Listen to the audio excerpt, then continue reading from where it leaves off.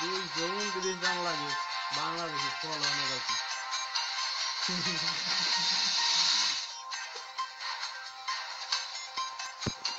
কত বড় দর্শক শুভেচ্ছা জানাচ্ছি আপনাদের সবাইকে আমন্ত্রণ। রাতের বাংলাদেশে আপনাদের সাথে আছি আমরা দুজন আমি মনিরুল ইসলাম।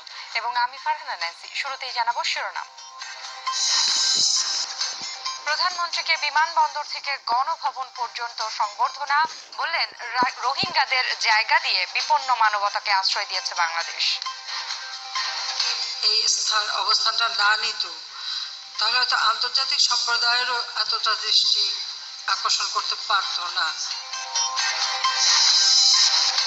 রাখাইনে থামেনি মিয়ানমার বাহিনীর জ্বালাও পোড়াও শান্তি প্রক্রিয়ার উদ্যোগ নিলে সাড়া দেবে আরসা। স্থায়ী সমাধান ছাড়া ফিরতে চায় না অনেক রোহিঙ্গা। শান্তিতে নোবেল জয়ী আইকেনের সহযোগী বাংলাদেশের দুটো সংগঠন এই স্বীকৃতি দায়িত্ব বাড়িয়েছে বলে মনে করেন তারা।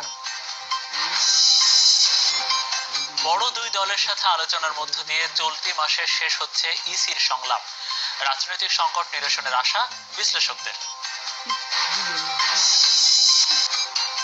এছাড়াও রাতে বাংলাদেশে থাকছে দক্ষিণ সুদানের তথ্য প্রযুক্তি খাতে বাংলাদেশিদের আধিপত্য দ্বিপাক্ষিক সম্পর্ক জোরদার হলে বাড়বে বিনিয়োগের সম্ভাবনা।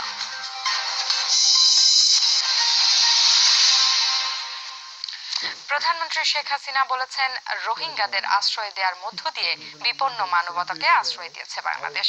আর এর ফলে সম্মানিত হয়েছে বাংলাদেশের মানুষ। পাশাপাশি এর মধ্য দিয়ে বিশ্ব জনমত গড়ে উঠেছে।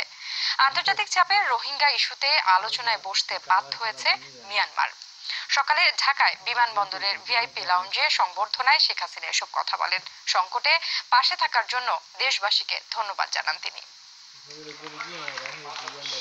যুক্তরাষ্ট্র, যুক্তরাজ্যে তিন সপ্তাহের সফর শেষে সকালে দেশে ফিরেছেন প্রধানমন্ত্রী শেখ হাসিনা। বিপন্ন মানবতার বাতিঘর হিসেবে এ সময় তাকে সংবর্ধনা জানায় আওয়ামী লীগ ও চোদ্দ দলের কেন্দ্রীয় নেতারা। এর পরপরই বিভিন্ন সামাজিক, সাংস্কৃতিক সংগঠন শ্রেণি পেশার মানুষ ফুল দিয়ে শুভেচ্ছা জানান প্রধানমন্ত্রীকে। এ সময়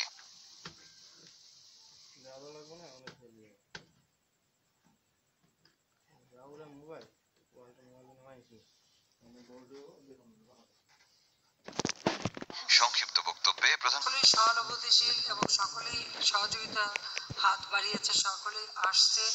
শেখ হাসিনা বলেন এই সংকটকে কেন্দ্র করে নানান ধরনের উস্কানি ছিল তবে বিচক্ষণতার সাথে পরিস্থিতি